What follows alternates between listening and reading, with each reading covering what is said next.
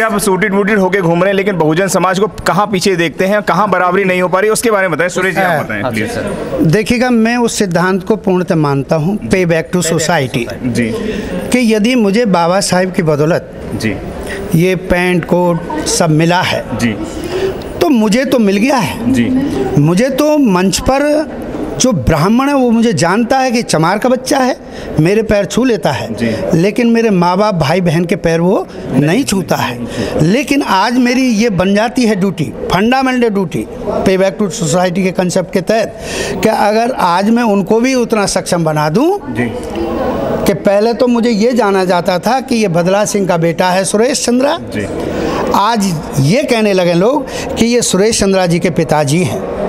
और ऐसा होता है। मेरे साथी हैं जब वो मिनिस्टर बने जेल मिनिस्टर बने उत्तर प्रदेश पर तो उनके पिताजी भी वहाँ मौजूद थे। जैसे उन्होंने I S I P S जो बैठे थे दोनों के दोनों जब वो उनका स्वागत करने आए तो उन्होंने कहा भाई मेरे पिताजी भी इधर मंच पर हैं। आप उनको पहले माला डाल करके गले में स्वागत कीजिएगा। तो वो हुआ प्रोटोकॉल पूरा।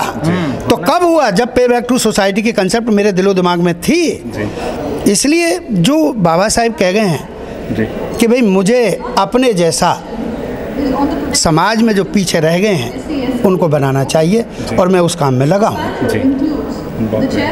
और जो आज ये इधर चर्चा कर रहे थे मैंने अभी कहा जब जो आदमी सरासर बाबा साहेब की बेइज्जती हो रही है कैसे फ़ोटो नहीं लगाया। लोग बोल रहे हैं हिंदुस्तान। अरे भैया तुम संविधान पर चर्चा कर रहे हो। संविधान में कहीं हिंदुस्तान शब्द नहीं है। भारत और इंडिया बोलो भैया। लेकिन ऐसा नहीं हो रहा है। हिंदुस्तान बोल रहे हैं सांसद हैं। जब उनको यही ज्ञान नहीं है तो क्या मेरे बाबा साहेब का सम्मान करेंगे साहेब? वो चिंता फ़िक्र है। बिल्कुल। ये तो चमचा युग चल रहा है। आप थे सुरेश चंद्रा जी जो बाबा साहब की बातों को जन जन तक पहुंचाते हैं और बाबा साहब को मिशन के पूरा करने के लिए लगे हुए हैं। ऐसे में से बात करने के लिए सर बहुत बहुत धन्यवाद थैंक यू शुक्रिया मैं आपको